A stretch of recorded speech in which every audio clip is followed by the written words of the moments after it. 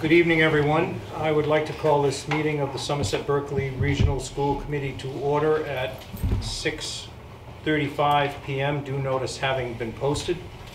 I'll Let the record show that this meeting is being electronically recorded, and if anyone in the audience also wishes to electronically record this meeting, you should notify the committee at this time. Any such recording may be subject to reasonable restrictions imposed by the chair to the extent permitted under the open meeting law. Uh, Roll call. Mr. Ghilarducci? Here. Ms. White? Here. Mrs. Gagliardi? Here. Mrs. Rothwell? Here. Mr. Souza? Here. The Chair is present. Mr. Kelly informed us that he will be about 15 minutes late. He's on the way. We'll begin uh, without him, a quorum being present. I'd ask everyone to stand for the Pledge of Allegiance. I pledge allegiance to the flag of the United States of America and to the republic for which it stands, one nation, under God, indivisible, with liberty and justice for all.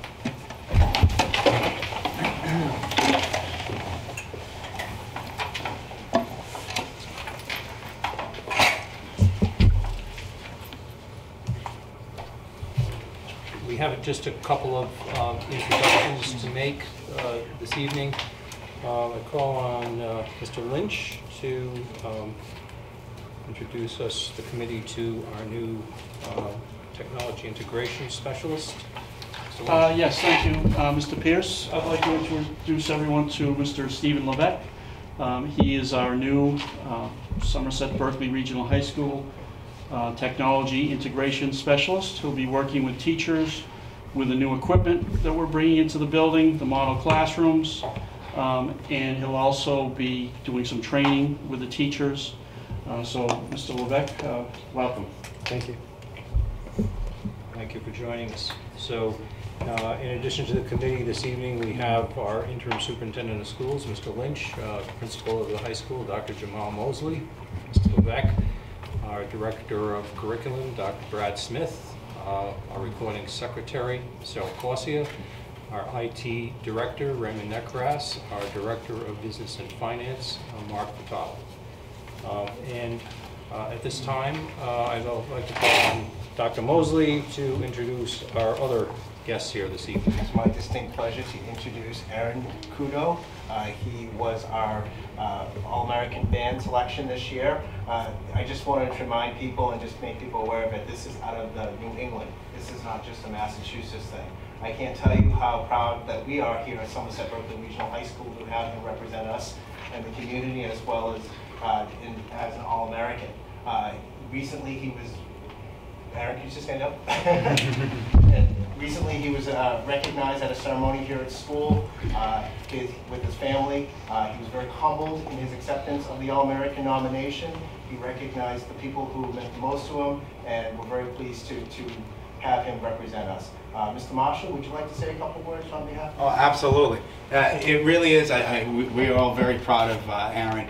Um, They actually, there are students, thousands of students throughout the country that audition for this particular ensemble, and they take 125 uh, out of the entire country. And Aaron is actually the only person from all of New England that's been accepted to the band. So on January 4th, he's going to perform with the United States All-American Marching Band at the Alamodome in San Antonio, Texas. So it is quite the honor. And uh, he's our second recipient in three years. So uh, Somerset Berkley Regional High School is very much on the map. So we're very proud of him.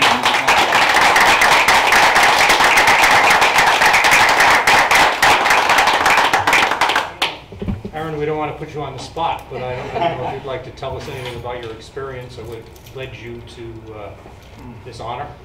Well, I just kind of got led through it by watching what was going on here at school, like kids that were up, uh, the upperclassmen when I was younger.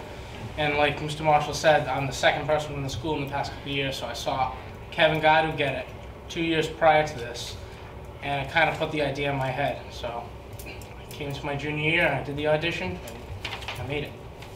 Very good. Well, Congratulations. Thank you for coming. So I'm sure there's a freshman out there that you are inspiring without even knowing it, right? I sure hope so. Oh. Thank you. Thank you so much. Thank you. All right, uh, so have minutes to move.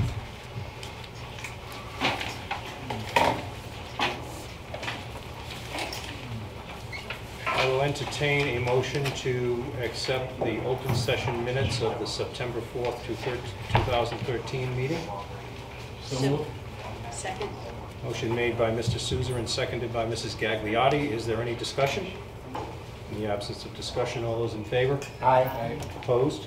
Unanimous. Um, I have to abstain. All right, uh, Unanimous. Ms. White uh, abstains. Next item, to consider, I would accept a motion to approve the open session minutes of the September 23rd, 2013 meeting. So moved. Second. Motion made by Ms. White and seconded by Mrs. Gagliardi. Is there any discussion? In the absence of discussion, all those in favor? Aye. Opposed? Unanimous. And finally, uh, I will entertain a motion to approve the executive session minutes of September 23rd, 2013. So moved. Second. Motion made by Ms. White and seconded by Mr. Ghilarducci. Is there any discussion? In the absence of discussion, all those in favor signify by saying aye. Aye. Opposed? Unanimous. Next item, to consider designating a voting delegate and alternate voting delegate for the annual business meeting of the Massachusetts Association of School Committees and Massachusetts Association of School Superintendents Joint Conference, which is scheduled for November. Know I am registered for the conference. I believe Mrs. Gagliardi is registered. Mr. Ghilarducci is registered. Uh, Anyone else? Uh, I am. And Mr. Lynch. Um, If anyone, on Friday afternoon, there is a, a meeting of the association to consider various resolutions that have been uh, presented in, uh, in advance of the meeting. Everyone should have received a mailing about the meeting, and we can talk about those uh, proposals at a, at a subsequent meeting and determine how the committee would like to, uh, our delegate to vote on those. Um, This meeting sometimes conflicts with other workshops. I am not um, particularly uh, I would be happy if someone else on the committee would like to be the voting delegate to that, to that meeting. Uh, I know if among our uh, members, we have any volunteers. I'm the voting delegate for Berkley. In Right. Berkley, my, my, my school committee. Okay, so Nominate I don't, me I don't know if you're allowed to represent I- two school no, committees. So I have to withdraw from this one because I'm a regular All right, delegate. I'll do that then. all right. Well, I will serve as the alternate, and hopefully you'll, you'll be able to, uh, well, I guess it, it requires a, a a vote. Um, Mrs. Gagliardi has volunteered to serve as the uh, voting delegate, and I've agreed to serve as the alternate. Uh, I have a motion to that effect. So moved. Second? Motion made by Mr. Souza and seconded by Ms. White. Any discussion? In the absence of discussion, all those in favor? Aye. Aye. All those opposed? Unanimous. Um, Dr. Smith, we move the next item up on the agenda so that you can report um, early in our meeting. If you don't mind, I'd just like to hold that until Mr. Kelly arrives. So if we could go on to the next item, which um, is a... He's here. Oh, right? Hey. Now we can vote.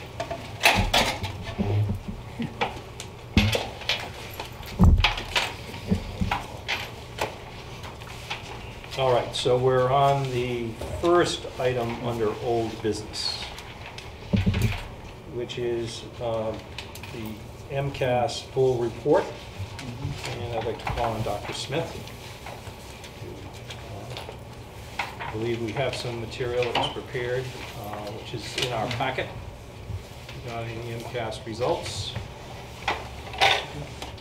All right, um, Mr. Lynch, you Sure. want to make some opening? I'll make some opening remarks, and then uh, Dr. Smith can take it from there, if that's all right. Um, If you look at the, uh, the- the fourth page in of of the report that you were given, you'll see the comparison between the 2012 MCAS results and the 2013 uh, MCAS results. And you'll see, if you, if you compare the two, especially the advanced scores and the proficient scores that we, we improved considerably. And I'll walk through those right now. The grade 10 English language arts scores, last year, uh, there were 33% of the children in, in the advanced category. This year, there, there are 57%. And if you, you total the advanced and the proficient scores, you'll notice that in 2012, while it is very impressive, about 93% of our student body received either advanced or proficient. This year, or 2013, the spring of, was even more impressive because 98% of the grade 10 students were received advanced or proficient in English language arts. If you look down at the next graph and the next set of numbers, grade 10 mathematics was, was uh, almost equally impressive. You'll see that last year, in 2012, the advanced scores, uh, there were 54%. Well, this past spring, in 2013, the 92% were in the advanced category. So if you total the advanced and proficient scores, 2012, there was 79% in the advanced proficient category, and this past spring, 92% in the advanced category. So again, that's uh, incredibly impressive as well. The grade 10 science uh, and technology engineering test, uh, we did very impressively as well. 2012, the advanced category, we had 27%. 2013, there was 26%. But if you look at the proficient category, there was 42% in 2012, and that raised significantly to 59% in 2013, to give an overall improvement of 2012 of 69% in the advanced proficient category to 85% in the advanced proficient category. Um, I'm also pleased to report that we have met uh, target, uh, our target number. And the target number is the, is the number or the percentage of students that should, should fall in the advanced and proficient category and how each system is given an- a percentage where they have to improve to that number. And we did, we're- we, we were successful in meeting that uh, target number. Uh, So overall, it's, it's exceptionally impressive. Um, And uh, Dr. Mosley, as well as all the teachers, um, not only in the, in the high school, but also the middle school uh, feeder systems of Somerset and Berkley um, that are, as these kids progress through the, through the ages, are doing a remarkable job. Uh, Dr. Smith, can you add a few Sure, and I think that you actually captured the uh, key points. I think that um, what Mr. Lynch, when he was referring to the shift in terms of moving students from proficiency to advance, that has a direct impact on what they call the student growth profiles. And that's where we saw a lot of potential growth from last year, both in ELA and math, because you can still have students at proficient, and when they compare them with their cohorts over a period of time, really one of the areas that we focused on is moving more of the students to the advanced levels. And with that, we went above the target in ELA and math for the student growth profiles. And so that was significant. Um, last year, the proficiency in math was very high with indices over 90, but there had been no change from the previous year. So I think that by having the increase not only in proficiency, but more students in advance, as you see on the summary over here, in terms of math proficiency and math student growth was above target for both all students and the high needs. And that also was reflected in ELA because you had a considerable jump with the students working at the advanced level. And I think that that's the real challenge, is moving students to those higher levels of uh, success and really complexity and sophistication. So I think that uh, building upon what uh, Mr. Lynch said, is that when you look at those graphs and you see that shift to the advanced level, that was also reflected in your uh, proficiency and your student growth profile target. So I think that that certainly was uh, impressive, and we saw the same thing over in uh, grade nine science and physics. And I think the other piece is that it was significant because it was not only for all students, but also for high needs students as well. And high needs include students who are students with disabilities, uh, low income students, uh, English language learners, and uh, other students that fall within that uh, category of high needs. So I think that that was also significant growth on part of the uh, school. And as uh, Mr. Lynch reiterated in the previous summary at the last school committee meeting, you know, in terms of, you know, the high performance across the content areas, and also with the improvement, building upon last year, uh, that uh, both the high school and the region uh, progressed to uh, level one status, which of course is uh, a positive uh, step. And in addition, with the work in ELA math and science, I think the other piece too, and we touched upon this at the last session, in terms of the graduation rate and the dropout rate, um, we did add this information to this summary in terms of um, meeting the target. So I think that in terms of your graduation rate, uh, for all students, you're above target. Uh, For your high needs students, you're either on target or improved below the target.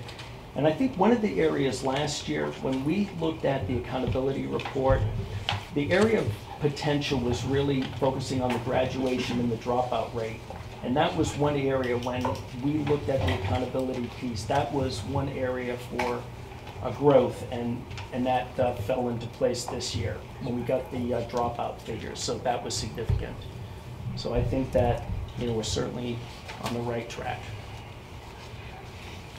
So we included um, the 2013 results, the annual comparisons for the region, and of course, you can see some of the growth profiles, and then the cover page for the accountability report, which shows the status of the district as well. So that's where we are. Very good, thank you. Any questions? Uh, Yes, uh, Mr. Lynch, and I don't know if it's yourself or Dr. Mosley or Dr. Smith, just curious, I, I mean, this is a, a great job and I congratulate you. Um, I, I'm just curious, what do we do? Like, what do we do differently to really make this big jump? I mean, it's a big jump from one year to the other. I think it's a tremendous thing that has occurred. It's just what are we doing differently in the classrooms that we can echo even further down in the K to eight in the Somerset and Berkley districts as well, to complement what you're doing here. Dr. Mosley? Dr. Mosley? First of all, um, I would just like to commend the students, uh, content coordinators, um, and the teachers for all of their work. Um, I would just like to just kind of take it back up and just say that um, we did a lot of different things differently this year coming in. Um, If you've heard me talk a little bit about Tony Wagner and some of his seven habits of effective um, leadership, one of the things that we did differently is that we want to focus on critical uh, thinking. And what does that look like? Critical thinking across all the curriculum, critical thinking in math, critical thinking in ELA, critical thinking in uh, science and technology.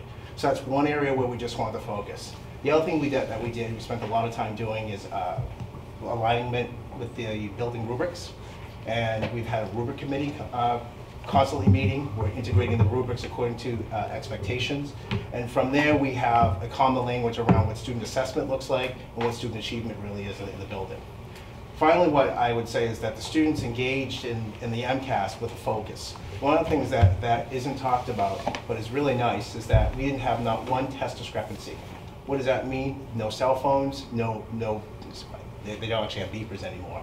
But uh, certainly there were, there, there were no distractions. So when the students engaged in the test, they approached it with critical thinking in mind, with the mindset that they were going to achieve, and uh, they certainly knew exactly where that rubric was going, where, where they were going to score prior to engaging the test. So I would say that we, we did that differently this year. We're still trying to tweak it and get better each year. I would say that when we look at student achievement, we certainly look at graduation rate. We certainly look at um, MCAS. We also look at students attending four-year colleges. But I will also say that um, we also look at SAT scores as well. And one of the things I've always said, it's really nice that our SAT scores uh, are actually decreasing. I say, how come you're saying that? Well, I'm saying that because a lot of our actually kids with disabilities, kids with special needs, are actually taking the tests. So when they're taking that test, they're getting more exposure to that rigorous curriculum.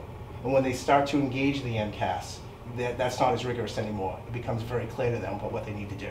So when we look at student, achievement and through the eyes of the high school, it's not just MCAS, it's, it's uh, graduation rate, it's uh, SAT scores, it's uh, the common assessment, it's the grades. So we can build that whole picture for that student. So um, it certainly is, is a nice accomplishment. Uh, We're, we're always looking to improve. Uh, Certainly, everything that uh, Mr. Lynch has said and Dr. Smith has said is true, but certainly the mindset of looking at critical thinking and, and and taking that to the next step. As always, we're looking to improve. We're, we have- we have our eyes on the PARCC and certainly looking to uh, improve our, our performance on that. It's always a work in progress, and please keep in mind that this is a different group of students as well. So that when you do a compare and contrast, you're not comparing, contrasting the same group. These are different, in this case, variables, so each group has a different set of needs. Am I making sense? So that's something that, that we keep in mind. But we will be able to do that in the future with, with PARCC, if we go to that, which it- all, all indications say that we are moving to the PARCC assessment. But in high school, they'll be tested in grades 9, 10, and 11. They'll be grade, they'll be tested in grades 2 through 11. But see, what we can't, we, what we don't have the ability to do with, with high school MCAS scores uh, is to improve the, um, is to compare students' growth. Because while we're, while, yes, it's wonderful that we jump from 93 to say 98% in advanced proficient, it's a different group of kids. But what PARCC will allow us to do is what we do at the elementary and middle school level, is to monitor kids as they go through the grades. So it'll- gives us a much better uh, reading on how students are improving and how we as, as districts are improving on, on educating. them.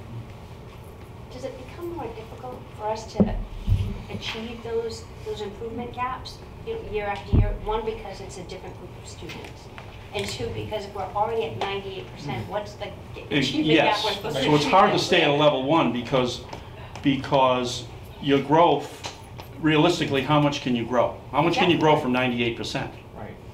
At, at advanced proficient? I think that's important.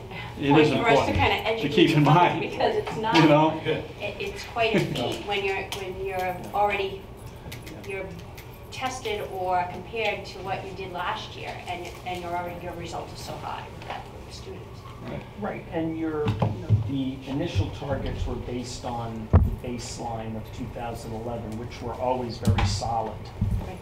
So what they do essentially, what the goal was, your baseline in 2011 and project outward to 2017, and then they would then establish certain uh, targets.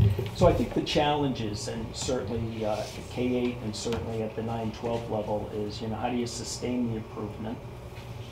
And then how do you continually focus on moving students to higher levels of uh, success and helping students reach their potential? And, you know, how do you continually stretch students? And I think that what was encouraging is that, you know, the, the growth improvement that we saw at the K-8 level, then segued certainly uh, as we see at the high school level, and then how do we really sustain that? I mean, you're looking again, as uh, Dr. Mosley and Mr. Lynch alluded to, you know, you also have different groups of students, different needs, and you're going to see some fluctuations from year to year. So I think it's certainly the ongoing challenge, focusing on continued improvement and sustaining that. And, uh, and then again, you know, in the context of the curriculum, how do we continually stretch students, you know, focusing on the critical reasoning, the problem solving, and even on some of these action steps over here that we have uh, articulated, uh, really looking at that across the district, which we continue to do. Because again, as Mr. Lynch alluded, K-8 Berkley, K-8 Somerset feeds into the high school, that's the foundation. How do we take that piece and then continue to focus on our work here at the high school? So I think that, you know, the kids have a very strong foundation from Berkley and Somerset, and then we really expand upon that with the work here at the high school, and that's a good thing.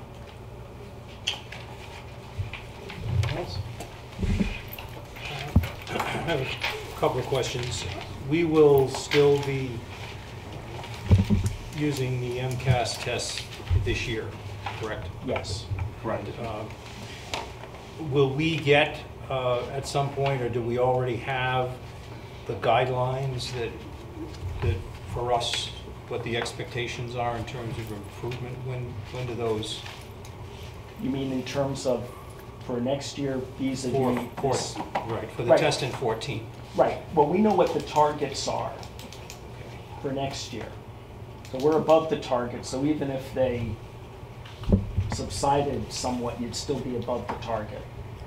So I, I think when you're, what, what's, what's challenging here is that if you had a baseline of ninety-three in two thousand eleven, and then you're forecasting outward to the, the two thousand seventeen target, you're kind of working within that area. So, I mean, I, I think it's indicative of the, the high level of success, certainly at the high school level. Yeah. So we know I mean, what I the hate to I hate to, actually hate to be the math content coordinator who, whose students achieve, seventy percent of the students achieved advanced standing. Where does he have to go? Well, you know what, you love a challenge and, you you know, and, and I think that, you know, the focus on the, you know, the problem solving and the reasoning, and that's something we've been really emphasizing at all levels. And that's And- been an important focus. I asked you this, uh, I think, last year, but um,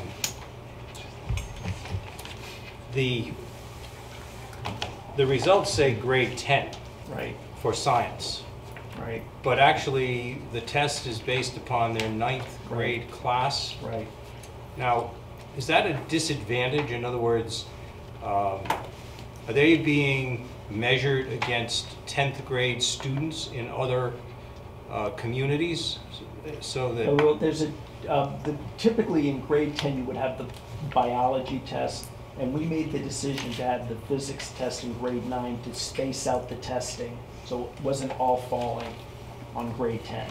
Because the other issue is when they had, they initially had proposed to have history and social science, and that was actually put on hold, because we were also going to have that in grade 10 as well. So we spaced it out for grade 9 for science and grade 10, but the issue in science is that they have to pass at the needs improvement level to meet the graduation standard. So although these results say grade 10 science and tech engineering, Right, they're essentially they're grade actually 9. ninth grade, Right. the ninth grade student test results? Yes, Okay. And that's, uh, that's a, it's a physics course? yes. Yes, Which again, I've raised because 50 years ago, when I was a student here, um, physics was always the most difficult uh, science course, and it was taught to seniors rather than to freshmen. So how does, that- how does that work? I mean, Times are changing. That freshmen are, I mean, I can't, I can't believe that the, that the level of physics that's being taught to ninth graders is the same that would be taught, as physics course that would be taught to seniors. Well, there are different physics courses. Dr. Mosley, I didn't know if you had any, Yes. if you want to shed some light on that. There are two, physics- there's grade 9, and then we have physics also in the upper high school grades as well. Just, we have our CAD labs that integrate physics into the curriculum. Uh, We have, uh, in addition to our traditional physics classes, uh, w- we have, um, we have our, our earth science, we have uh, environmental science, uh, there's one class called forensics that we do. So we take a lot of different components of the traditional physics class and incorporate them throughout the curriculum. So by the time the student engages in physics, or what you're thinking about traditional physics, they've seen it in platforms that are 21st century. So, for instance, and I'll just kind of put this out there, sorry, I don't mean to be mean to you. Things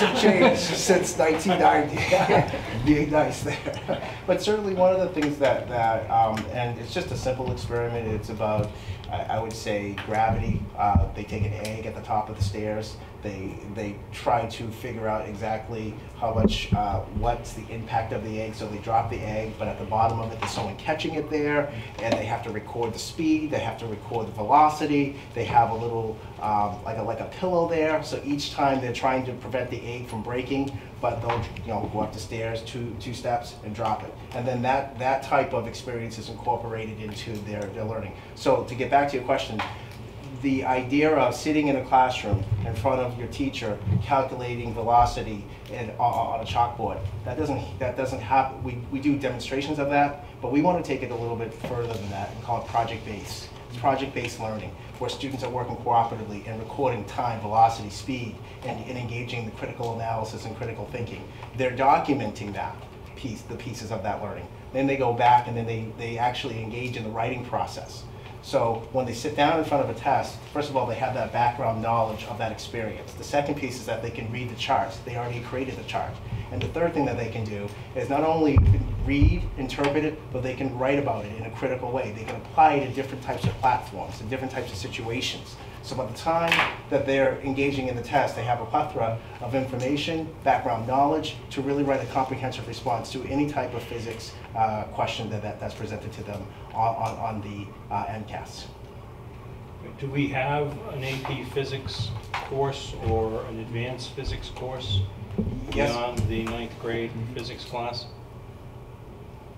Do you want me to respond-? I can- I can respond. Yes. Yes, that, that type of piece, the AP classes are, are what I would call the most rigorous classes in, in the entire school. And part of that class is that many of our students are trying to uh, get college credit for that. So the curriculum is is by far advanced. So the AP test, for the sake of discussion, is the five is the best score. The four is, is pretty good as well. If you get those types of scores, then you can get college credit for those scores. So a lot of our students are, are enrolled in those scores. I say majority of our students are enrolled in those classrooms to, to get that credit and to get that no- no- notori- uh, notoriety, no- notoriety, particularly our students looking for ear- early decision. But we've done something different with our AP classes. For our students who are advanced, we also say, hey, listen, if you want the exposure, you can also enroll in those classes too. So they're a mixture of advanced and, and our, our AP students. And the research shows that when you have that exposure with students who are advanced in AP, the combination, even if they're not going to take the test, they're still exposed to that rigorous in terms of curriculum. And in fact, sometimes to our chagrin, we've had students who are advanced students uh, actually engage in the AP course and, and get like, like a four, and then they have some options. So what we've really done with the AP, some of our AP, not all of them, is that we've moved them from homogeneous enrollment to heterogeneous enrollment. So the exposure is still there, and the rigor is there, and students have more options for it. I would rather have a student try and engage as opposed to not even go, uh, try, try to engage in AP. So in this case, uh, we do have AP classes. I also just end with this, and, uh, and I'll just sh- share this with you. Alice Ferris uh, and uh, Mitch Petty run AP uh, history course. Uh, Some of your, some of your parents have, it's a rigorous course. They, they start out, um, they, they, we give a presentation each year to, to the parents saying, this is not an easy course. You're gonna have to work hard. The content coordinators and uh, the, the, the faculty have taken it one step further. You talk about doing something different this year, Mr. Souza. What we did is that we said, why is it, why, why are we just making expectations available for parents and community members around AP for one course in history? I grab Alice Ferris, we grab Ms. Petty and say, how do we make a quote AP expose? This past year, this was the first time we actually instituted an AP expose. No, attendance was low. Okay, it's fine, attendance is low. But the idea is that we planted the seed to say that, in sense, we want, and- and if I had my, my brothers, we want a thousand kids to engage in AP curriculum. Can I just ask one quick follow-up question? Yeah. I guess, did Dr. Smith have something to add to Well, that? actually, you know, I'm just going to build upon what Dr. Mosley mentioned about the um, advanced placement. Uh, Through Race to the Top, we've been doing pre-AP math, professional development and training, both at the middle school and high school. And, you know, we're in year two and three in terms of that advanced level of mathematics, professional development. We have a cohort group of middle school teachers participating and also high school teachers who have completed either year two or three. That was during the summer. And we have vertical articulation meetings uh, during the course of the year, which are overseen by our content coordinator, Andrew Lawrence, and really coordinates effort between the middle school, but also we have a group of Berkley Middle School math teachers on the vertical articulation team with the middle school from Somerset who work with the high school. So I think that that's an example of three districts working together in terms of the vertical, the math articulation, which is key.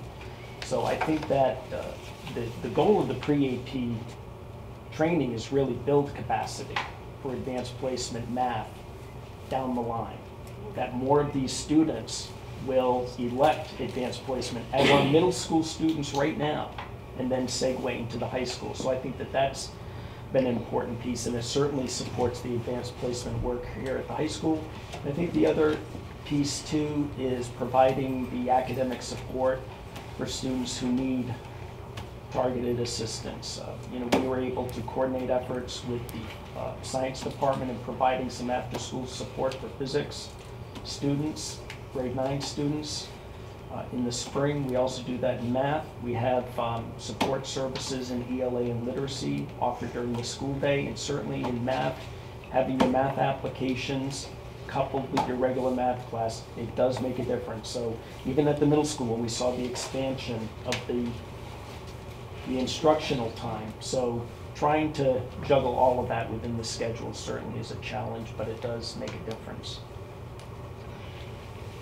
Well, what you described in terms of math sounds fantastic. Has, has any consideration been given to uh, trying that, say, in the science area? In terms of, Uh, I I- think you called them articulation teams with well, you know what, I think one of the uh, things that I really wanted to build teachers. upon, one of my goals for this year is to really extend some of those vertical articulation uh, teams to some of the other content areas. Because I think the math areas worked out quite well between Berkley, Somerset, and the high school. So that's certainly as we forge ahead for this school year. And I know that Dr. Doucette has already contacted um, Kim Hebert, the Berkley Middle School principal, because we, uh, in Berkley, there's, uh, an English language arts curriculum is up for review this year, so he's going to, to do some um, work with them as well. Yeah, and I think that um, one of the qualities is, I think the articulation between grade eight and nine, between Berkley, Somerset Middle, and the high school, I think that that has been a key indicator in terms of some of the work that we're doing, and certainly expanding some of that. So I feel good about and, you know, working with the people in Berkley and also at Somerset Middle in terms of that transition piece is something that I think we can certainly continue to expand upon, which I think has a lot of potential.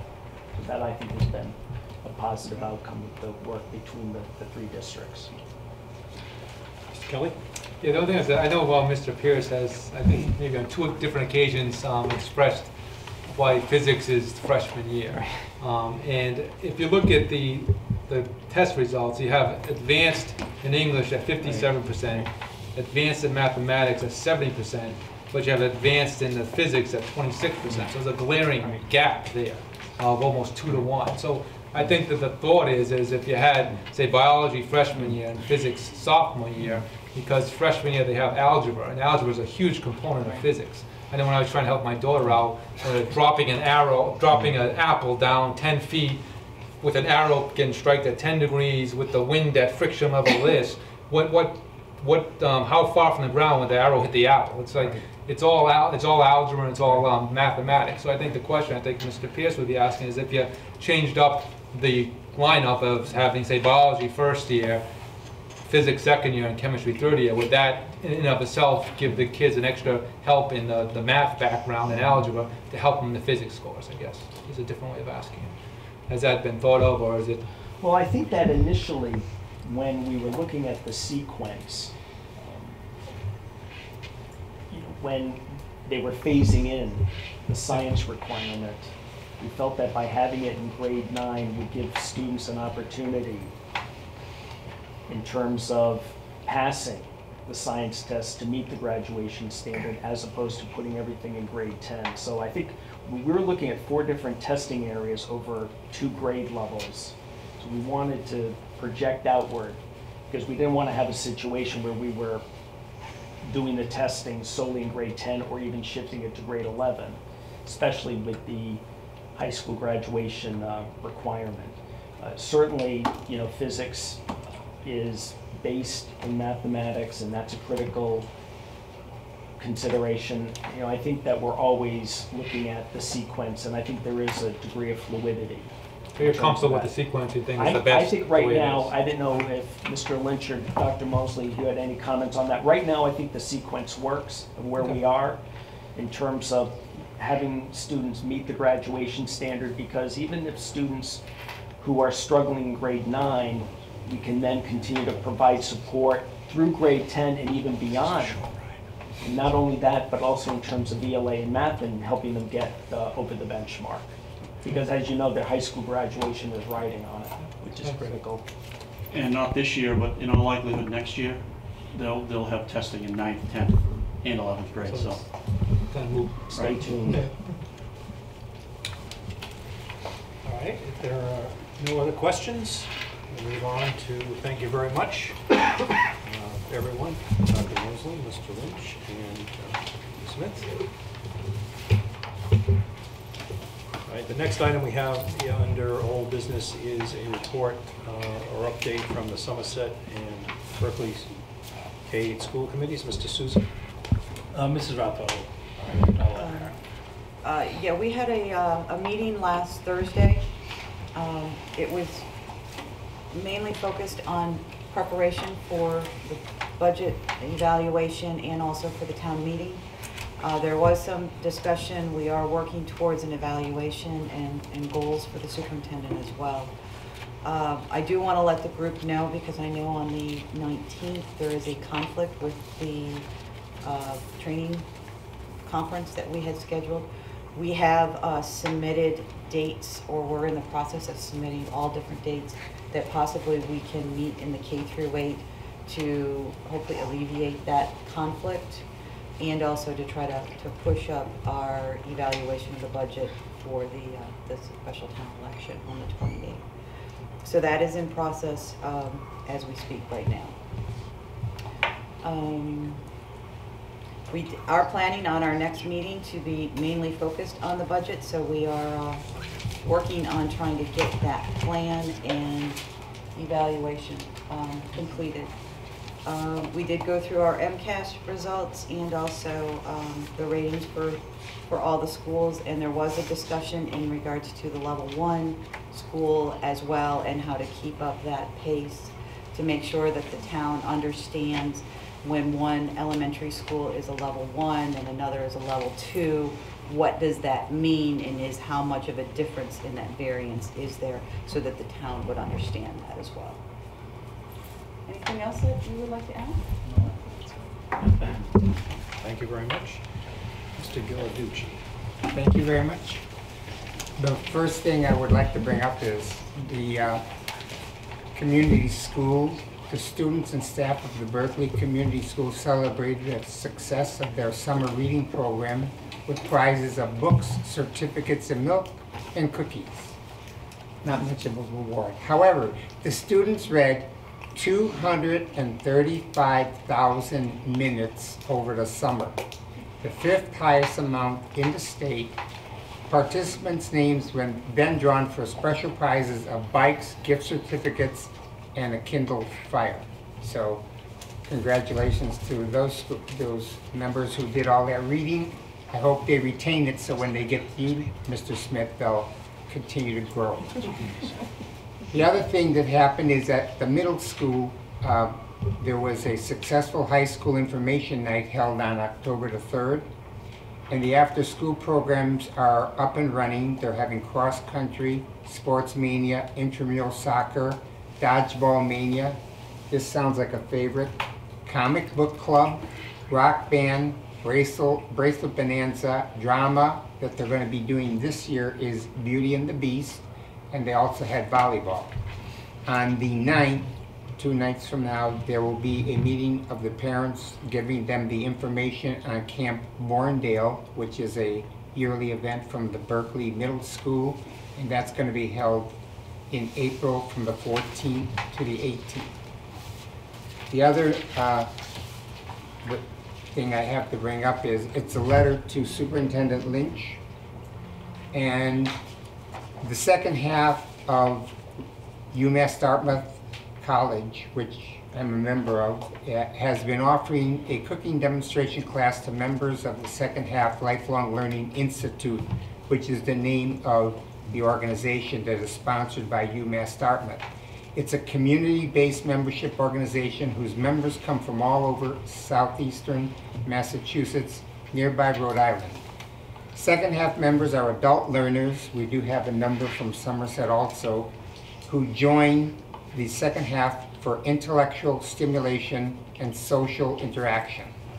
Last Tuesday, John Mendes, or Jay as we call him, provided both. He was the guest chef in the class and he, he prepared a variety of recipes for brunch. His recipes were delicious and his presentation was great. Jay was most entertaining and a great instructor, offering helpful and practical suggestions for, for, preparing recipes. It was a truly stimulating and entertaining class, and Jay Mendes, he also is a Somerset resident, was a great spokesman representative for the Berkley schools. And this was from Ellen Christie, who is an original founding member of the second half. She was also in the class, and she's the co-director of the Second Half Lifelong Learning Institute. The other thing I always bring up every year, I'm wearing my pink tie. It's our month to celebrate breast cancer, and we always urge all of our female employees, associates, and members, especially our teaching staff, please take the precaution to have your test this month, and we hope all will come out well for you. And any of you who do have this dreaded disease, we wish you the best to recover. Thank you. Thank you, Mr. Ghilarducci. Actually, hav- having raised the issue of Breast Cancer Awareness Month, I, I actually participated in the breast cancer walk in Boston yesterday. Got soaked to the skin. Um, I was there uh, with my sister-in-law and two nieces who came from Florida to participate in the breast cancer walk. They have a history of breast cancer in their family, and they've been participating for many, many years, um, coming, traveling from Florida. Actually, one of my nieces traveled with two young children, three and one, so it was uh, really something. But the uh, Boston Walk is one of the largest in the country. They raised several million dollars that day. Um, And one of the things that they do is to have high school participation. Um, And there were three high schools that were cited uh, for their participation. Catholic Memorial raised over $40,000 and was the number one school. Uh, And there were two other uh, schools in the Boston area, but when I heard that, it occurred to me that uh, there may be, there may be some at, um, at our high school who might be interested in thinking about uh, organizing a team to participate um, in that, that effort. Uh, So uh, it's very interesting because Catholic Memorial is an all-boys school, and uh, they were the number one fundraiser with over $40,000. And, and were there with about um, 400 students. I think they, uh, they were introduced on the stage, they brought, they had 10 school buses uh, full of students to participate in the walk. So that's just my little addition to uh, Breast Cancer Awareness Month and, and the possibility that um, our school might think about participating in- that in the future. Really is uh, uh, quite an event in Boston. All right, the next item we have on the agenda is the Superintendent's Goals uh, Subcommittee. Uh, Excuse me, I skipped over the three-district subcommittee to explore greater collaboration update. Uh, The committee had our first meeting on September 24th um, in the periodical room. Ms. White, myself, Mrs. Rothwell, um, Mr. Camara was there um, representing the KA committee as well, Mrs. Naraki from Berkley, and Mr. David Patrick. And I thought, um, and any of you can add in, I thought it was a- an excellent beginning discussion. We basically looked at how we were going to approach the task. Um, We distributed some information, including budget information, FinStat, organization charts, um, for each of the school districts. We talked about what, how we were gonna approach this topic, and that was gonna be a number of different levels. One would be um, a series of meetings with our staff at different levels, one-on-one meetings, so that we could get their feedback, because we didn't wanna come up with these ideas in isolation. We were gonna review the data that had been distributed. And then the third component was that we were gonna look outside the district and put uh, a question on the listserv for MASC to look at other school committees and ask how, what opportunities do they see for collaboration?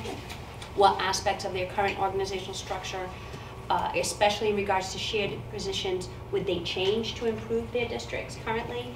And what as- aspects of their current organizational structure do they feel are working effectively and why? So Mr. Patrick put those questions up on the listserv and we're all, we have the opportunity to kind of look at those responses. So what we hope to do uh, through the course of our study is firstly to, from a compiled list of possible opportunities for collaboration, the committee will propose two to four recommendations for immediate implementation or short-term implementation, and we'll provide the analysis to show the expected benefits.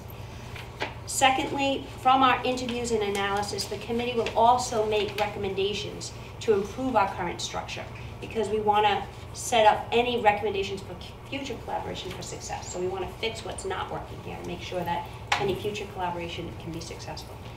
And lastly, based on all the information gathered and all the analysis of the data, we will come up with a very preliminary, um, or take a preliminary step to put together a recommend, a recommended structure for shared administration across all three districts that might be considered in the future. One of the things we were very clear to say is that anything coming out of our committee is still going to be recommended to the three res- respective school committees that have appointed us. So nothing that we kind of come up with is going to be enacted upon unless all three districts approve it. So, like, did I miss anything? Do you have anything to add? That was pretty comprehensive. I thought it was a good start. So uh, our next meeting is set for October 22nd um, here at the high school at 7 PM. And then we actually came up with a- another meeting tentative uh, for Thursday, November 14th. Okay. Any questions from the members of the committee? Okay, Thank you. Next is uh, Superintendent's Goals Subcommittee update. Would like to handle that? Sure. Uh, We met uh, prior to this meeting, um, and it was Lori Rothwell, Julie Gagliardi, and myself, and we sat with Superintendent Lynch. Um, He did propose, and I think everyone has those goals as well, um, his goals that touched on um, each area that he's responsible for. So district improvement goals, there were three, and professional practice goals, there were two. And um, the student learning goals, there were two that were proposed. Um, And we did start to go through them. Um, We got through most of the district improvement goals and started on the professional practice and ran out of time. Um, So I think that we've made some good headway. um, And I would think one more meeting would probably wrap things up. Um, And then we would come back to this committee with a recommendation. Okay. Very good. Um, Next item is policy uh, subcommittee update. And the- I don't believe the policy subcommittee has met as yet. We do need to schedule a meeting of that group because we have several um, issues that we need to begin to focus on in any event, so uh, prefer that. Um, Discussion of joint meeting with the Somerset School Committee. Um, There was a meeting of the chairs and vice chairs of um, this committee and the Somerset uh, K-8 School Committee um, last week. We talked about um, a series of issues that uh, might be addressed uh, just among the chairs and the superintendents, and those issues that might be the topic, topics uh, on an agenda of a joint school committee meeting. Um, I reached out to Mr. Kamara to um, talk with him about a date for a joint meeting and, and the topics for an agenda, and we haven't uh, connected as yet on that uh, issue of a joint meeting of the two committees. There is a meeting this Friday uh, with the chairs and the superintendents to talk about um, certain staffing issues.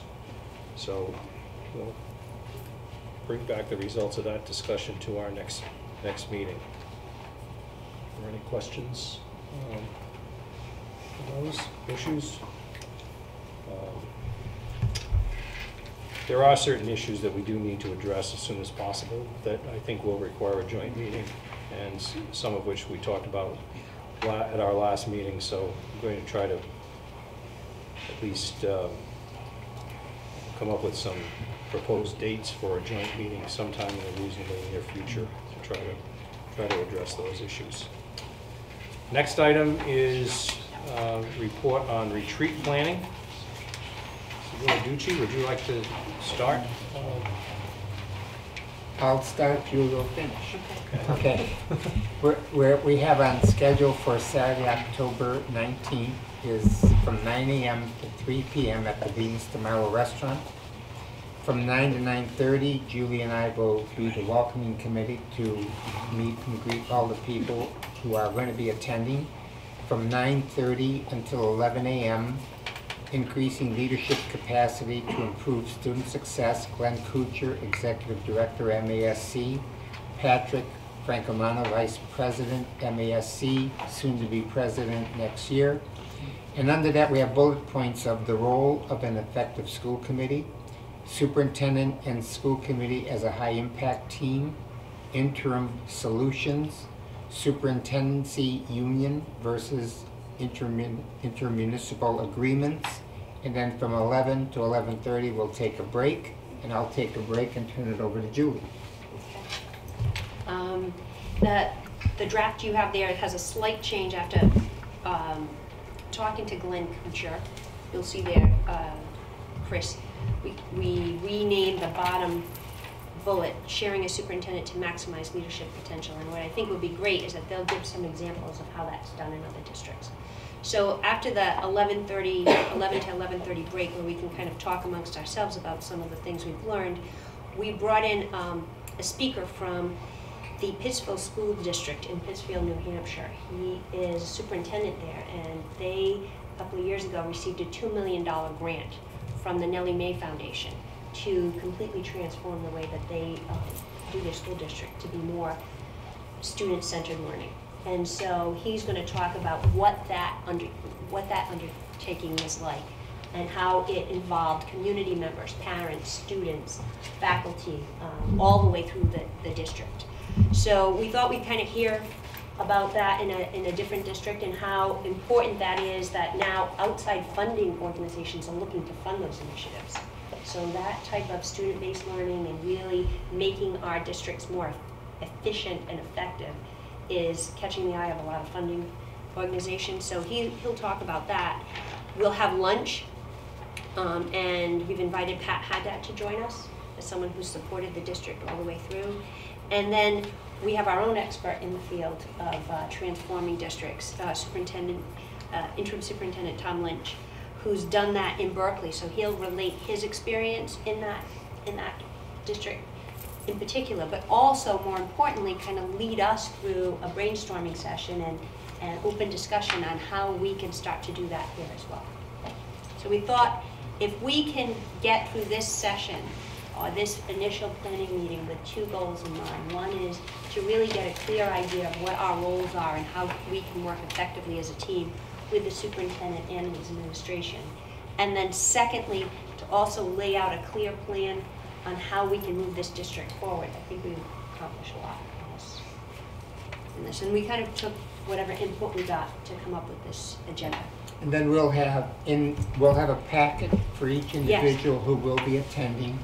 And the topics will be coming from the National American School Board Association. So we'll have those for you to look over and think about and talk about. And everything is going to be in a very positive nature. I think we have a very good school committee at this point, and I think we have good harmony, and I think we have very positive attitude. Now, this is gonna help us to branch that out and make us more professional and make us more open, more visible to the community. We wanna run a very transparent school committee, and that's what we wanna have. All right, Thank you. Any questions? The Right. food will be I'll good. It's important.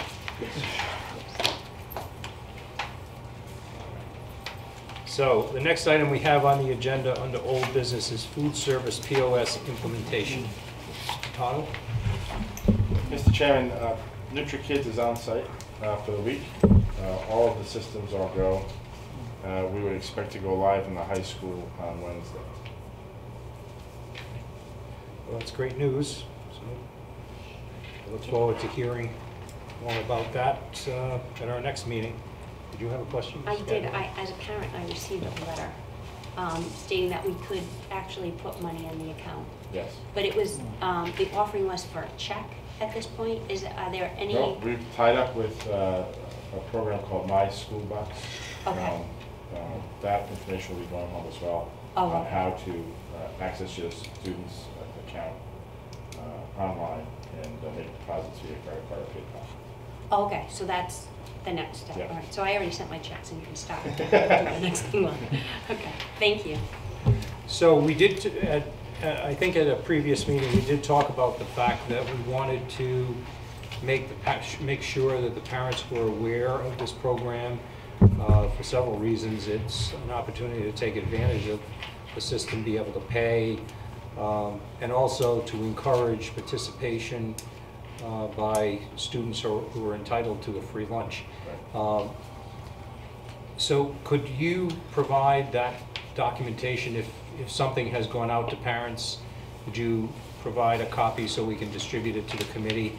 And if there's another, if there's any future correspondence with parents about the program, um, like uh, with respect to free uh, or reduce lunch, just so that the committee is informed and we have a copy of what goes out? Mr. Chairman, um, if if I may, uh, both uh, Mrs. Rothwell and I uh, brought up on the the Somerset side um, in the K-8 is maybe to talk to uh, Mrs. Belshai and uh, see if we could do something with uh, the access television as well. Visuals always is a good thing, maybe, you know, you know, if we see what was sent out, um, you know, we can help monitor that as well, um, you know, with the Somerset access, and we can even then get it over to the Berkley access as well, um, and, and be promoting it that way. So kind of a show to kind of highlight the new food service program? Yeah, I'm thinking, you know, it could even be five, ten minutes, something, I mean, just to kind of, it, that would be repeated over and over again. You know, the- one of the things that, to, to continue on that discussion that we were saying is, one, it's celebrating our success. It's a new program that's coming in. Some parents learn, you know, by reading a paper and can follow that instruction, and then some will learn better by the visual. Um, it will also show the community what we're doing and the benefits to that, and hopefully it would build in that participation as well. So it, it, we saw it as a win-win. It was something that we had said we would like to look into. Maybe we could adopt that as a, uh, a shared vision between the two regions as I well. I have not talked to Mrs. Belshea yet, but I believe with- with the smile on her face that she'd be willing to do something like that. Is, Is that something that could then be put on the website so that, you know, it, That was discussed as we could, well. you know, if right? it's There'll a be short link on the video?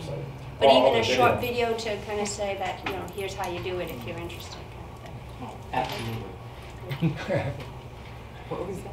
Absolutely. No, but I think it, i- I think it would be a great idea to, for both, both districts to be represented in a program like that, because I think it is um, very useful information, not only for parents uh, and even high school students to have, but also for the community to have.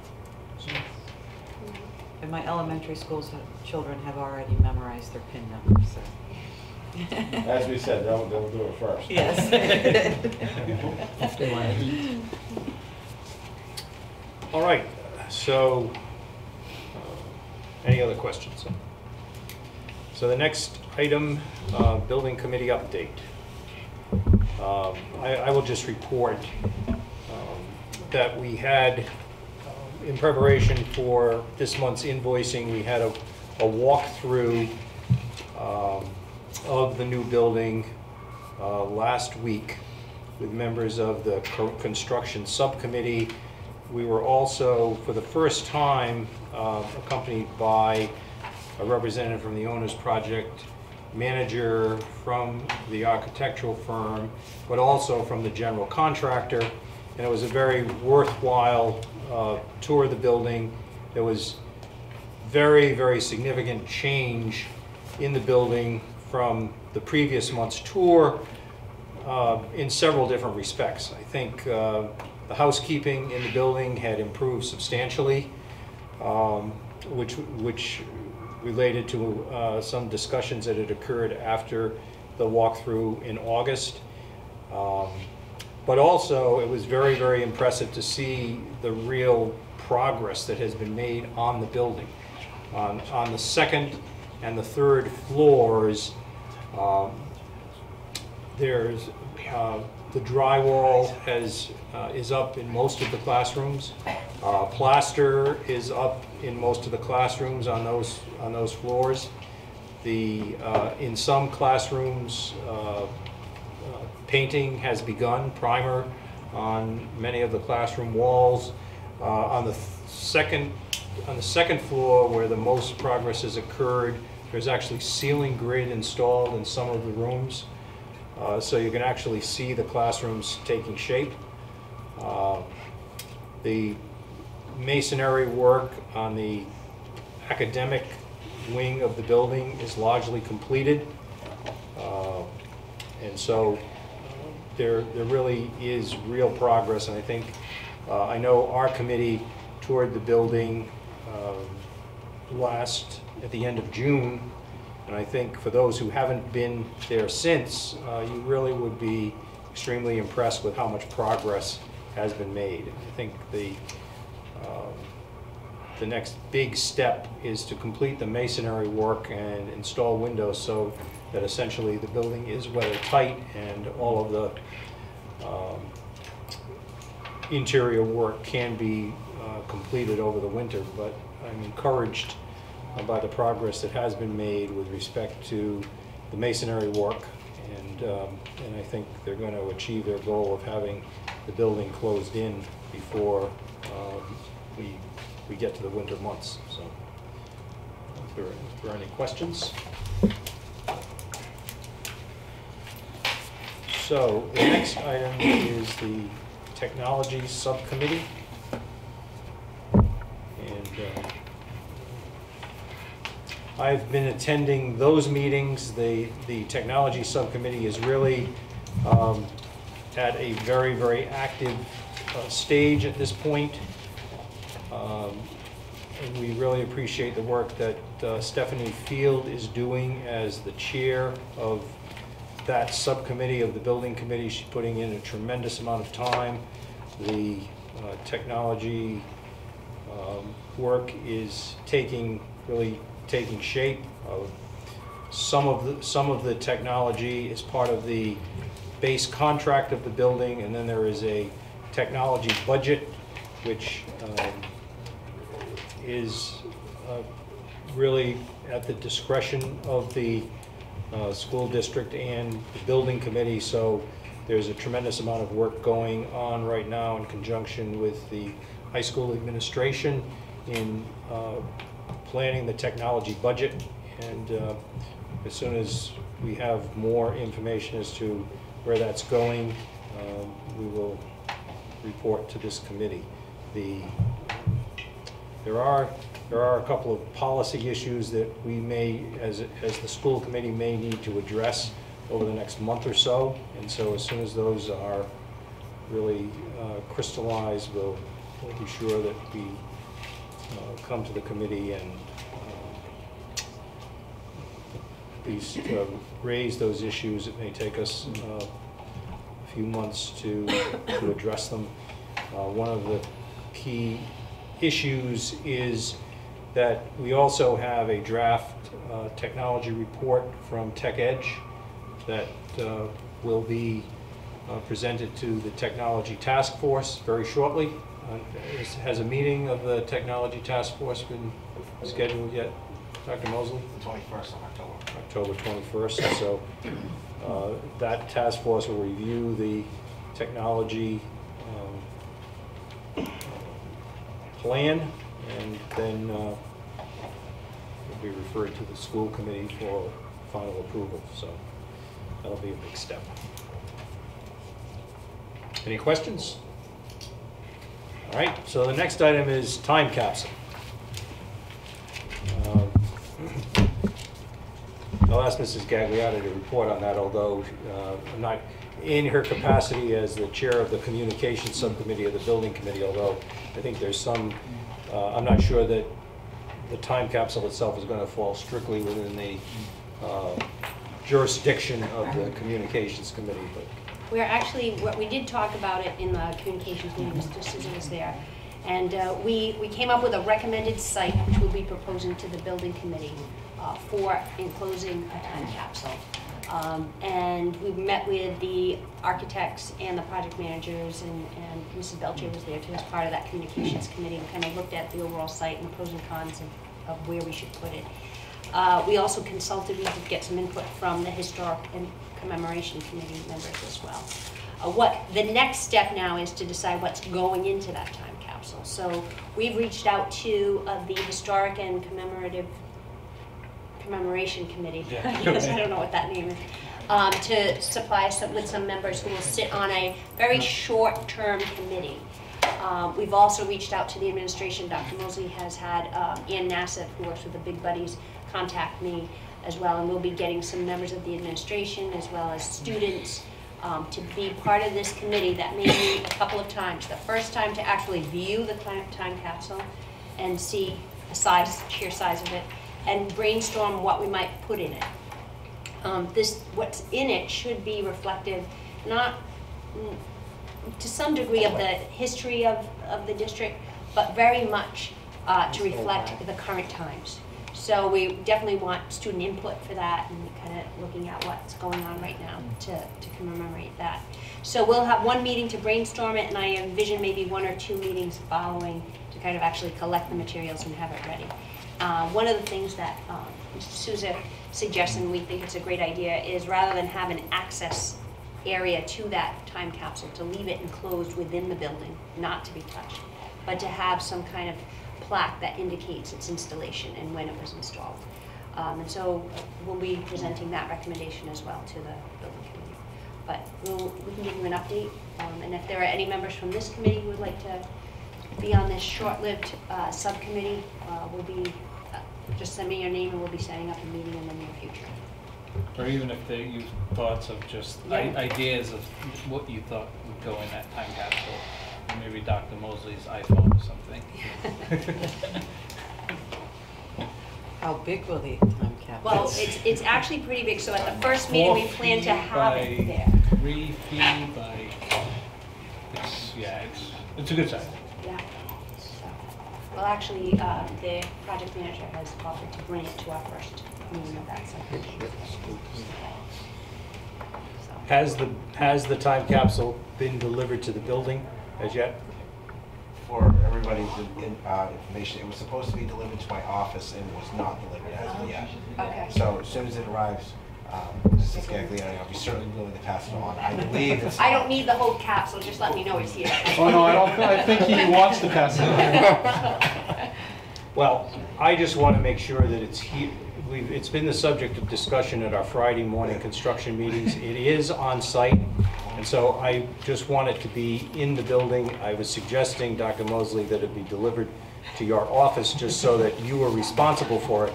You don't necessarily have to keep it on your desk, as long as you find a safe place for it, so that we know that it's here and the committee can, because we are actually uh, again, discussions at our Friday morning meetings. We're on a much shorter time schedule than I thought we would be, but the build, because the building uh, is being closed in and the walls are going up, uh, we, we probably only have till the end of November to complete this task, so we want to make sure it's here at the school. The committee can meet a couple of times between now and the end of November, complete it so that it can be put into place uh, within that timeframe. Okay.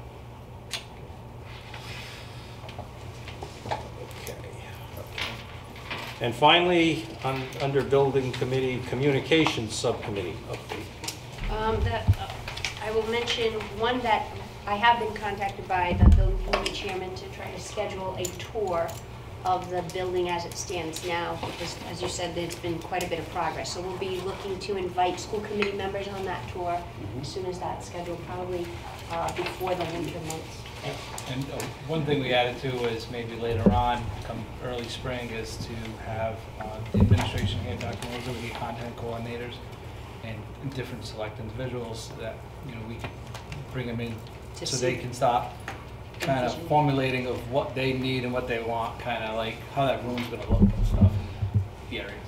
So that we'll be reporting on that in the near future. The other uh, project that the communication subcommittee is undertaking is the planning of a um, celebration or last hurrah of the current building prior to it being demolished. So we have been in touch with um, the individual who planned that event in Norwood. He's more than willing to bring his committee down to meet with our committee.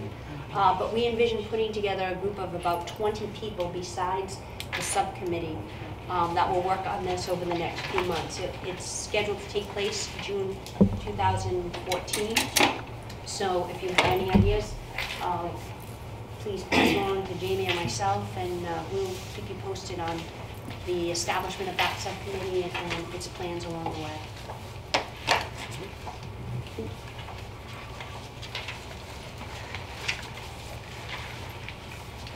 Is there any public input? I just had a, a quick clarifying question, Chairperson Peirce. Um, I just wanted to make sure that you are in possession of our demand to bargain letter that I sent out on September 24th to both chairs of the school committee and both superintendents. I am. Okay, thank you very much. So, just, I was going to mention this a little later, but since the question was raised, we have received a, uh, a letter from the Somerset Teachers Association signed by Mr. Ashley, who's the president of the association, requesting um, that we open negotiations with respect to our collective bargaining agreements with the Somerset Teachers Association for bargaining units A and B. Uh, As we all would- will recall, those agreements expire on June 30th, 2014.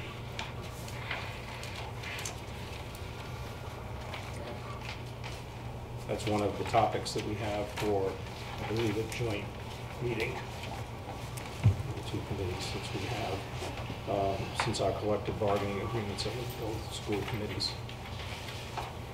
All right. uh, If there's no other public input, uh, under budget and financial matters, are there any budget transfer requests? Mr. Chairman, not at this time, but we do have a request for uh, the dispensation as surplus for some equipment in high school. It's a uh, requirement in order to um, remove the equipment. Uh, It's um, seven items, that is, uh, none of them are operational or functional. Uh, Most are decades old and have been laying around for quite some time. And this came uh, as a request from Sam Adams to clean up one of the areas in his section. Um, So as it, is school property, it requires school committee approval uh, to dispose. And how, how do we propose to dispose of it? You declare it a surplus, and that would allow anybody in the community who would be interested in looking at it, possibly taking it to do so. And then, uh, if there's no interest, Sam will just dispose of it. So we suggest, so are we suggesting people might buy it? Uh, Highly unlikely, none of it is operational, they may be interested in taking it home and using it for spare parts. If they have a similar piece of equipment, all this is quite old, as you can see from his descriptions, Or for the metal, so. or for the metal.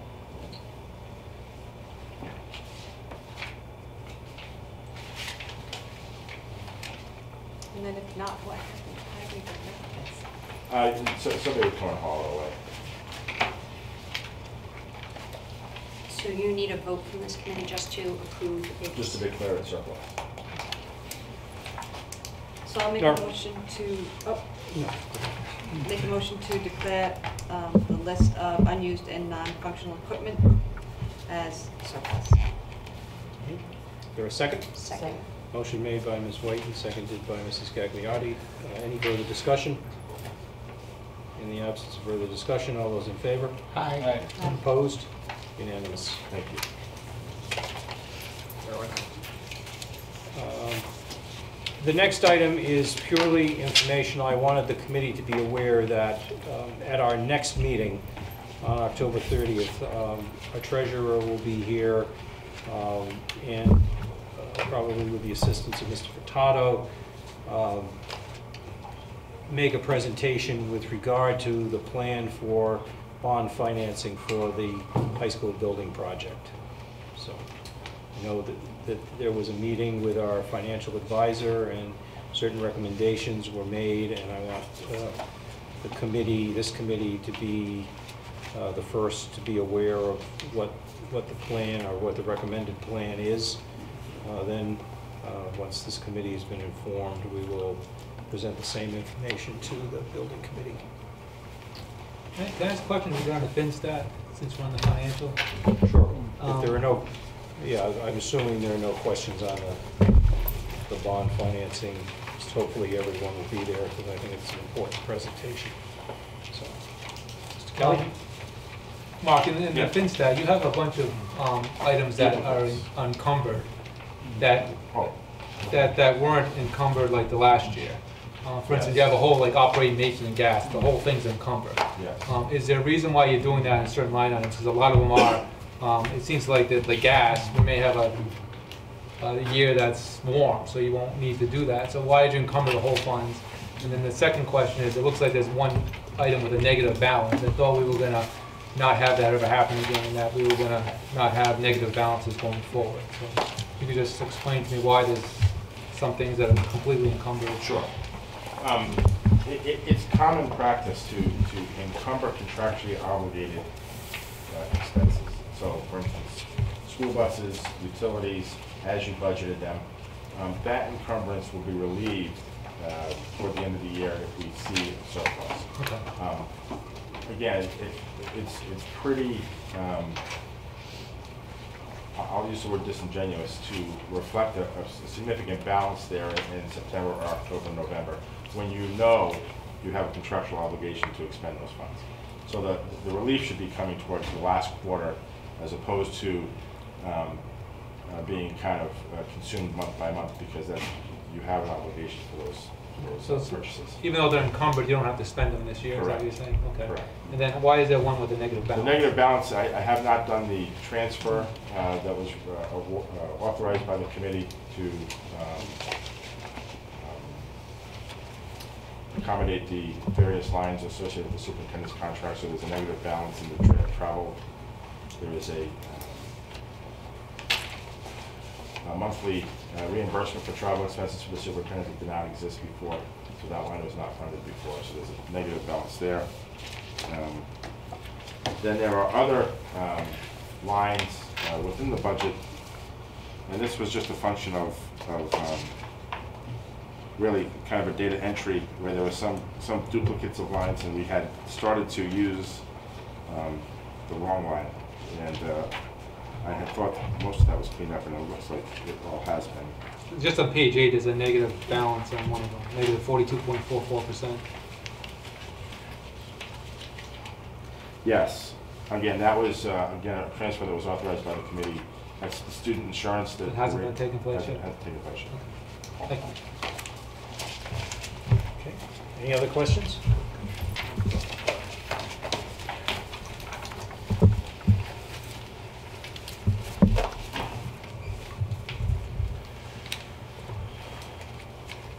All right, um, Under new business, uh, grant subcommittee update.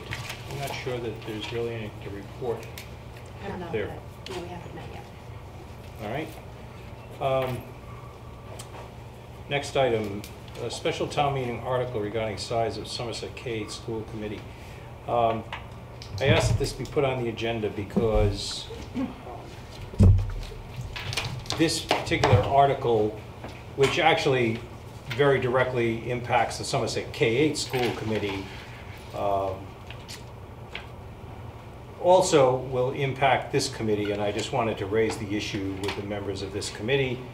Um, it, it's occurred to me, uh, everyone is probably aware that uh, the Board of Selectmen have included an article on the special town meeting warrant to reduce the size of the Somerset School Committee from five to three. Um, And um, as the, this committee knows, our regional agreement requires that two members of the Somerset School Committee um, are, be designated as members of our committee. Uh, With a composition of five people, they do not constitute a quorum of the Somerset School Committee. However, if the school committee were reduced to uh, three members, um, then the two members of the Somerset School Committee would constitute a quorum of that committee. And um, I assume that any member, any meeting of this committee would also have to be posted as a meeting of the Somerset School Committee. And then the third member of the Somerset School Committee, uh, not to be left out of any discussion, uh, would probably feel obligated to attend our committee meetings so that uh, a commitment uh, on a particular issue that might be jointly shared would not be made by two members, a quorum of the Somerset School Committee, without any input from that third member of the Somerset School Committee. So I'm not sure that this uh, warrant article has been uh, thought through completely and what the implications might be, not only for the Somerset School Committee, but also for the operation of the Regional School Committee. In addition, um, as we all know, um, uh, perhaps to the chagrin of some, um, this, this committee is a very active committee, and, and um, we, we have a lot of subcommittees. Uh, It's a strain on members of the Somerset School Committee to uh, not only attend all of their regular meetings, but also to attend the meetings of the Regional School Committee, at least the two people that are designated from the Somerset School Committee. And it, it's really uh, a tremendous service to the community that we have two people uh, that are willing to attend twice as many meetings as other members of the Somerset School Committee. But in ad- addition to that, uh, we ask them to participate on our subcommittees as well as the subcommittees of their own committee and to reduce the number of the Somerset School Committee from five to three and then ask for full participation of their two designated uh, members on the workings of our committee would, it seems to me, uh, create a tremendous strain on the members of the Somerset School Committee and, and perhaps um, limit their ability to participate uh, as fully as they have in the past on our committee. So uh, I have real reservations about this, um, this article on the town meeting warrant for, you know, very, very real and substantive reasons. So I just wanted to uh, mention that to the committee. Um, If members of the committee share my concerns on this particular article, um, hopefully they'll make them known to their friends and constituents who might be attending the special town meeting. Uh, you know, Beyond that, I'm not sure that an article like uh, reducing the number of members of a particular town board, uh, particularly one as important as the K through 8 school committee, should be handled at a special town meeting, but be that as it, as it may, I think there are important issues uh, for, you know, important implications of this article for the operation of our committee, and I'd just like uh, to bring that to everyone's attention. Um, I'd also just, um, there's an issue that has just, just arisen. Uh, the Cable Access Oversight Committee in Somerset met uh, at the end of last week uh, with uh, the Berkley uh, Committee, and there was discussion about um, the renewal of the license uh, that exists between um, Comcast and the town of Somerset, and that's strictly a matter that's within the purview of uh, the Board of Selectmen. But um, I attended that meeting, and uh, as did Stephanie Field, who is the uh, chair of the Technology Subcommittee of the Building Committee, and uh, Rich Fenstermaker, who's the chairman of the Building Committee, and we, we attended because we, we are concerned about the negotiations between the town of Somerset and Comcast and, and um, what, um, what the negotiations will be with regard to the educational component. The, uh, the cable company is required to address uh, public access, public access, government access, and educational access. And we learned that um, there is actually an education representative on the Somerset Cable Access Oversight Committee. It used to be Mr. Penault, who was um, the principal of the high school. After he retired, it uh, is now Pauline Camara, who uh, is the principal of the middle school and represents the K-8 school district. And at that meeting, we were invited to designate a representative to the Cable Access Oversight Committee, uh, which would be uh, presented to the committee for uh, reference to the Board of Selectmen because they ultimately uh, make uh, appointments to that committee. So we have the opportunity to designate um, a person to represent the regional school district on the uh, Cable Access Oversight Committee. I think it has to be a Somerset uh, representative uh, to the Somerset Committee. Definitely. The, uh, Getting ready to. the, the, there was some, there actually was some discussion about uh, the willingness of the Berkley Cable Access Committee to also have a representative uh, from, from the regional school district on their committee, but there, there was some ambivalence because they have an odd number on their committee at the present time, and they were reluctant to change that, whereas the Somerset Committee was much more open. Okay.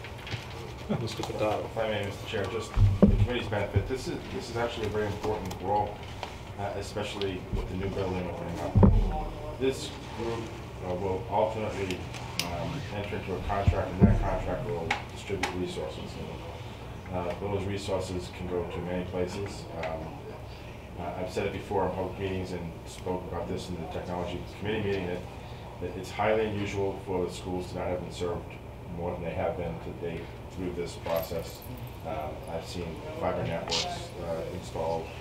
Um, I've seen TV production studios installed. I've seen uh, production studios to record uh, school committee meetings installed, and I, I don't see much here. So, uh, critical role uh, for for a component of the of the relationship that hasn't been well served at this point. We understand that, that's why the three of us were at that meeting the other night.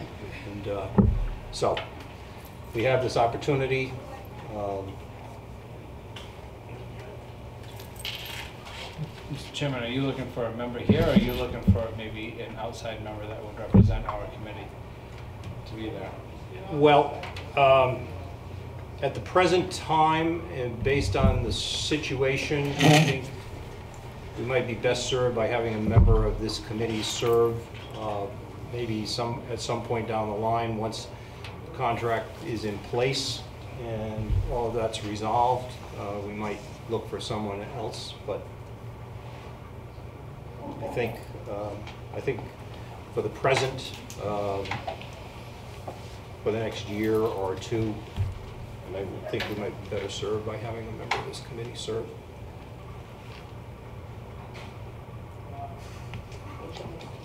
Probably somebody on the technology committee would be a good point. Um, I don't, I, I think that if there is a connection to the technology committee, that would be good. Uh, Would, would you be willing to serve Rick, on that committee?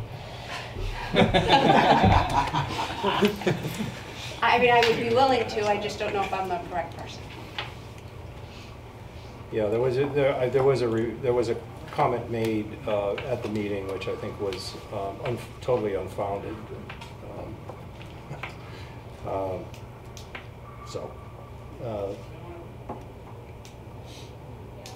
so i- is there, an- if if there's a nomination, I'll nominate Rick Peirce to represent the regional school committee on the, what is it, Comcast? Cable Access Cable Oversight Committee. Oversight I'll Committee. second that. All right, would you like to uh, All those in take over favor? as chair? Aye. Aye. Aye.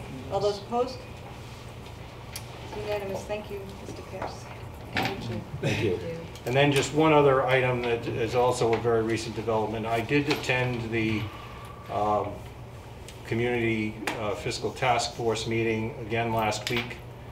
Um, And there were, there was some discussion about um, both uh, addressing uh, budget, budget cuts and, um, and also uh, increased revenue.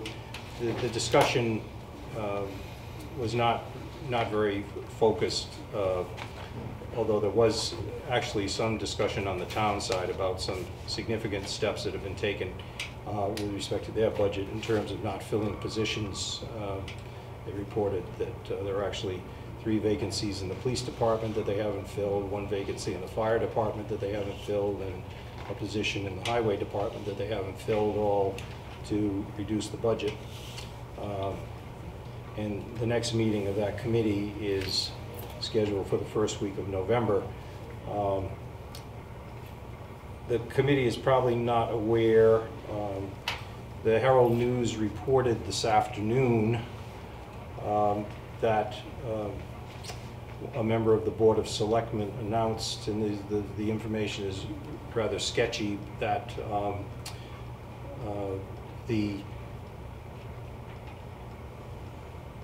there was, a- there is a report that um, because the new owners of the Brayton Point Station were unable to reach agreement with ISO uh, New England, uh, that the Brayton Point facility will be closing uh, as of uh, June 30th, 2017.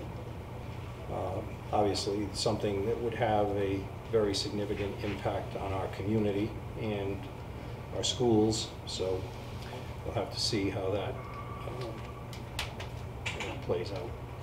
Not, um, not very good news uh, for the community, so. Are there any other matters of public input? Okay. There is no other business, um, I would entertain a motion to enter executive session uh, in accordance with Massachusetts General Laws, Chapter 30A, Section 21A4, to discuss the deployment of security devices or strategies with respect thereto, in accordance with Massachusetts General Laws, Chapter 30A, Section 21A3, to discuss strategy regarding litigation in pending arbitration matter with the Somerset Teachers Association, and in accordance with Chapter 30A, Section 21A2, to discuss strategy with respect to collective bargaining, contract negotiations with the union, AFSCME, and other non-union employees. So The moved. committee will not return to open session at the end of our executive session. So moved. Second? Motion made by Mrs. Gagliardi and seconded by uh, Ms. White. Roll call, Mr. Ghilarducci. Aye. Mr. Kelly. Aye. Ms. White. Aye. Mrs. Gagliardi. Aye. uh, Mrs. Rothwell. Aye. Mr. Souza. Aye. And Chair votes aye. Thank you, everyone, for coming.